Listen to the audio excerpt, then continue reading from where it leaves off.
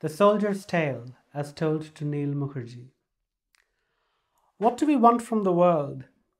It's a question that crops up again and again in my head as I process the applications and read the case files and the histories they contain. They're histories of the worst in us. Or maybe I need to refine that.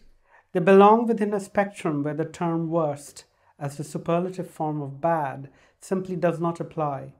An overused ordinary word such as bad or worst holds no meaning here. I leave it to you to imagine what is done to, say, two 10 year old girls seized by a rabble of male soldiers of the Lord's Resistance Army. And this is my guess. You won't be able even to cross the threshold of the unimaginable, let alone begin to get anywhere near what actually happens. Which body parts to bend and buckle and twist, which to tear, rip, slash, gouge, which to burn with fire or acid. The creativity on this is boundless, leaving the imagination exposed as such an old fashioned tool, an abacus in Silicon Valley. I read pages and pages of these every day. Sometimes just a bare mention of an atrocity without any details is the most troubling, leaving me to imagine the lacunae, and then I do not know which is worse, the imagination succeeding or failing. But still, I read them. I have to read them because I'm a cog in the wheel of the giant machine that determines whether these torn, branded, gassed, fleeing people can make a new life for themselves in a new country where they are safe from harm. Such a small thing to want from life, don't you think? To be safe from harm? But you learn very quickly that you have to turn down most of them. What you also learn is that gradually the human mind begins to insulate itself in the face of such evidence, or narrative, if you will, to the point that you start to protect yourself from what you read. You have to. Nice twist, isn't it? That they come to you seeking protection and you end up protecting yourself from them. There's nothing in Salim's application that is extraordinary or atrocious or eye catching. In fact, exactly the opposite. The communist argument made is that the applicant will be killed, tortured, imprisoned if he's sent back to the place he has escaped from, and this is the centerpiece of Salim's too. He's from Asmara in Eritrea, and at the age of 17 or 18, he's forcibly conscripted by the army in 1996 and sent off to fight in the Eritrean Ethiopian War that began in 1998. He's told by the commander in charge that his military service is going to last for a mere six months. The six months proved to be elastic.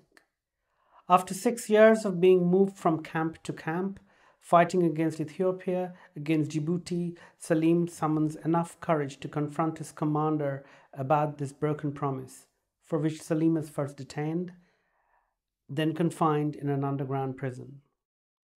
The prison houses nearly 400 men, and 20 of them, Salim among them, dig their way to escape after one year. Soldiers fire on them, and while the narrative is not forthcoming on how many the soldiers got, Salim survives, and after walking for one month, he enters Sudan illegally without any papers. Salim is in Sudan for eight years, and the record of his time there is sketchy, especially given the crucial things that occur. A marriage to an Ethiopian woman called Abida, a Christian who works as a cleaner. The birth of a son, family trouble issuing from the fact that Abida has married not only an Eritrean, the national of an enemy state, but insult to injury, a Muslim, leading eventually to Abida returning to Ethiopia, leaving the child in care of Salim's mother, who travels to Sudan to look after him.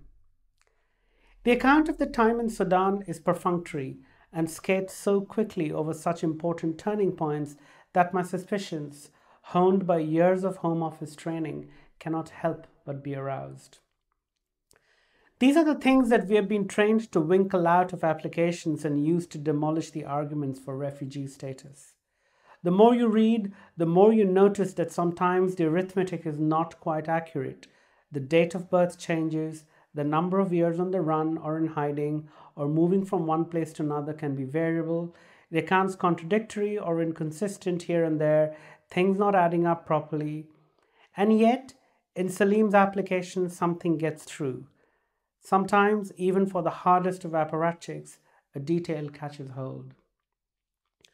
Whatever the reality of the matter or the accuracy of these details, two salient points emerge from the Sudan chapter.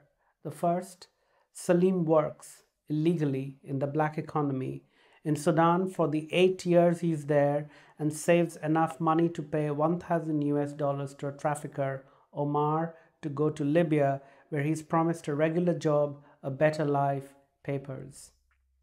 The second, a son he leaves behind with his mother.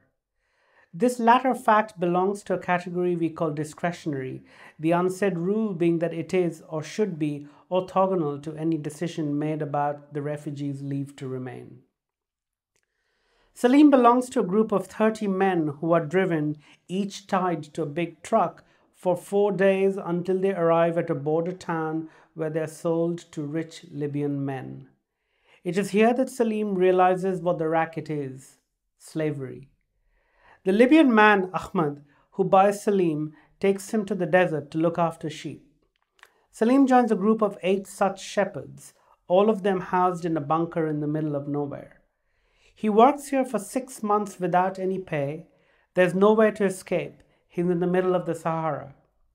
The hard calculation that leads Ahmad to return Salim to Omar, the racketeer boss, after six months remains opaque to Salim. But when he asks Omar for money for all the labor in the desert, Ali says that there's no money for him, and if he dares to ask again, he will kill Salim himself or having, have him killed by his goons.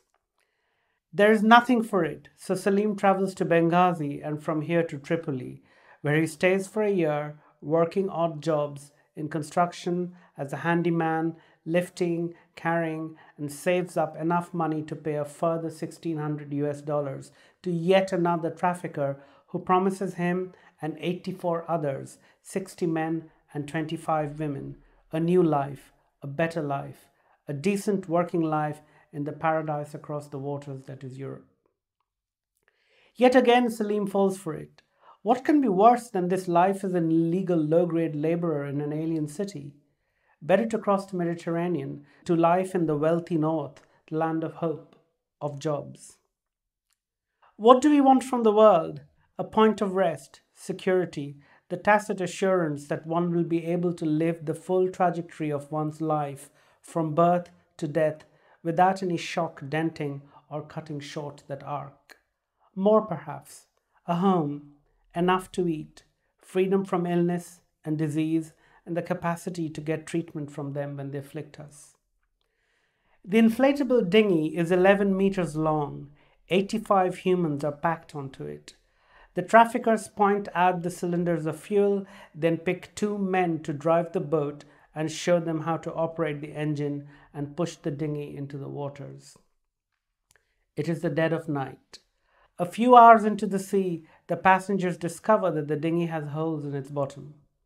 For one day and one night, they take turns bailing water out of the boat until the engine sputters and stalls in international waters. They bob and float, bailing water on the vast open sea for four days. Then they're spotted by a Tunisian fishing trawler. The fishermen cannot repair the dinghy's bust engine, but what they are able to do is call the Italian police, who arrive in a helicopter, then a big ship, which saves all 85 of the refugees. They're taken to Lampedusa, where they're fingerprinted. This is an important moment, both an arrival and the beginning of a kind of imprisonment, but Salim doesn't know this yet. The new life is new, but not in any way he has imagined. He will find out. The new arrivals are taken to the refugee camp near Catania. Fifteen months elapse as Salim's application is processed by the Italian authorities. At the end of this period, he gets his five year soggiorno and is released from the camp into the freedom of Italy. The new life begins. He has no money, no home, no job, no benefits, no Italian, nothing. For nine months, he sleeps on the streets, eats from garbage bins, sifts through rubbish heaps for clothes, a stray dog among humans. He is sick, frequently. He moves from city to city, from Catania to Palermo, Rome, Messina, begging, foraging, homeless, until he fetches up at Milan and manages to board a train to Calais and join the jungle. He loses his Italian documents and phone in a jungle portaloo and reports the fact to Calais police. For the 20 days that he's there in the jungle, he tries to jump each day onto a Eurostar on the open truck carrier of the train headed to London. One day in July, he gets lucky. He manages to give everyone the slip, hide under a truck on the Eurostar, and come to Dover. He immediately seeks asylum at the border. After two months at Dover, the Home Office decides, I mean, we decide, to deport him back to Italy. Under Section 4 of the Immigration Act, he's eligible for refugee status only in the European country where he first disembarked and was fingerprinted, which is Italy, and not allowed to shop around. Salim refuses very strongly to board the flight and is taken to an immigration removal center near the airport. Every few days, the Home Office cancels and reissues tickets to Italy, and he's carted off to the airport and even onto a plane. On one occasion, the pilot refuses to fly with a forcible deportation case on board his flight. In detention, Salim is visited by someone from a visitors group. In a rare aside in the application, Salim notes, Without them, I would have killed myself. They took me from dark to light. Then, in accordance with new rules about moving refugee applicants to different parts of the country, Salim is relocated to Glasgow. He has to report in person to the local Home Office outpost every two weeks. At any of those visits, he is liable to be detained and removed to Italy. He is still suspended in this purgatory, waiting and hoping and dreading. One could diminish a man to nothing, to chaff, to dust with this the only weapon you need is time. And the reason Salim doesn't want to be returned to Italy? Quite apart from the life of a street dog he had there, there is this line in his application that stands out. I cannot see the difference between Eritrea and Europe. I'm not free in any of those places. And this is what pierces through my hard shell that line. And then those lacunae again what do they use to bail water entering the dinghy through the holes? What do they talk about when the engine dies in the deep sea? How does he save $1,000 in eight years in Sudan, or more importantly, $1,600 in one year in Libya? How does he hear of the traffickers of a better life in Europe? Who tells him these things? Who convinces him? What goes through his head as he tries to smuggle himself into Eurostar every day for 20 days and is caught every single time? How many attempts does he give himself? After which attempt does he think, enough, I'm never going to make it? Does his mother send him pictures of his son as he grows up? What is the one month walk from Eritrea to Sudan like?